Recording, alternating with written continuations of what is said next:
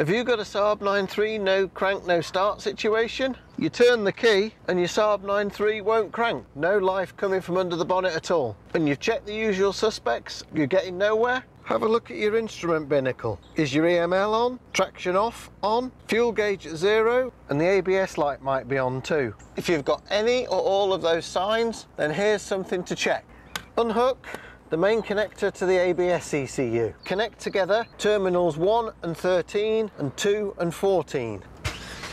Does the car start and run okay now? If yes, then in all likelihood, the joints holding these first four pins to the PCB have either got dry joints or the solder joint has come undone.